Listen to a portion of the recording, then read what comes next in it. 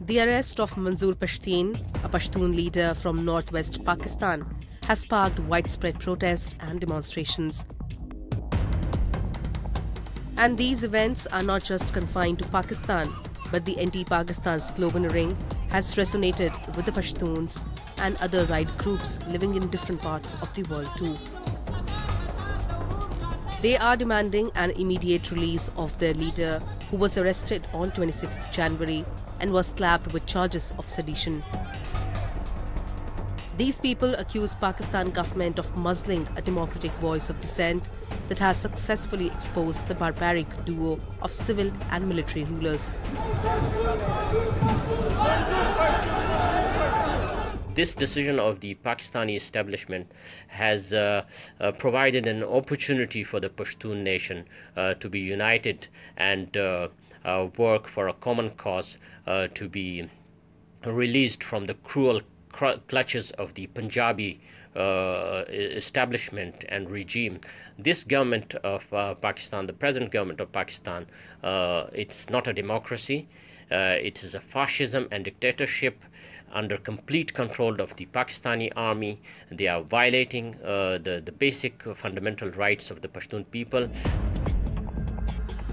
The arrest of Manzoor Pashteen is latest in the line of Pakistan's reflexive response to any off dissent that gathers traction and becomes threat to its essentially autocratic rule.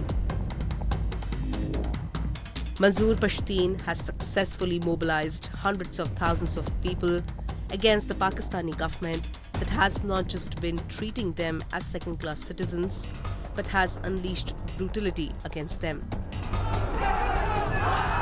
The movement he leads, or Pashtun Tahafuz movement, seeks justice for those who have been abducted, arrested, and tried on false charges. It also demands a free and fair inquiry into the extrajudicial killings by Pakistan Army in the name of fighting terrorism in northwest Pakistan. The little list of demands seeks a full stop at the torture and humiliation they endure every day. But sadistic rulers in Islamabad are not ready to concede to even these demands, which would have not suffered even single day of delay in any other democratic part of the world. The state of Pakistan is so afraid of peaceful activists and peaceful activism in the country. Everyone who believes in the promotion and protection of fundamental human rights. Everyone who believes on peace, development of the people, he is being labeled as a traitor and unpatriotic in Pakistan. The Pashtun movement, which began as a small demonstration by eight students of Gomal University, demanding removal of landmines from Waziristan gained prominence in 2018 after Naqibullah Mahsood, a modelling aspirant, was killed in a fake encounter staged by the police officer Rao Anwar.